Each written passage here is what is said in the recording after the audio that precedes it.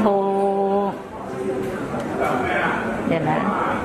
แต่แต่เบอร์นี้กำลังทำบันทึกอยู่บันทึกไปแล้วเมื่อปีที่แล้ว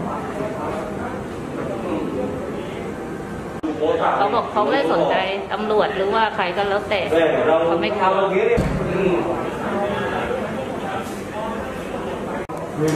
อ๋อ น้องของกุเรื่องขึ้นว่าเกิดอุบัติเหตุหน้าวัดไปวัน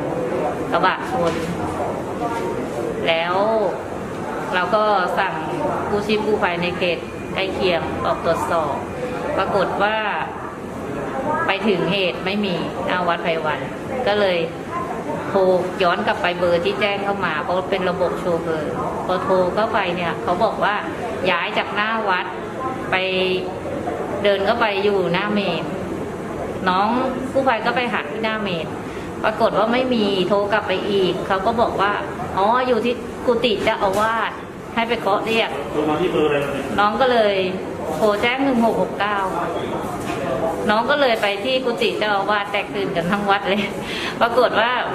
เป็นเหตุเท็จก็คือน้องหกเอ่อเบอร์ที่โทรเข้ามากุเรื่องขึ้น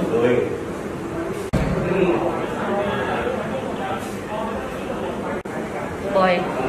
แต่ว่าเบอร์นี้เบอร์นี้ยังไม่โทรเข้ามา แต่ว่าหลังจากนั้นอีกสองวันก็โทรมาโทรแบบ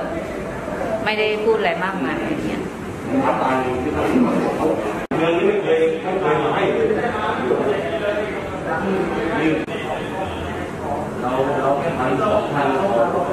ใช่คือน้องรับโทรศัพท์ไม่ไม่พูด ไม่พูดแต่โทรวันหนึ่งตกสามสิบครั้ง น้องก็สวัสดีครับก็ไม่พูดเดี๋ยวอันนี้ให้ดูเบอร์นี่นี่เบอร์นี้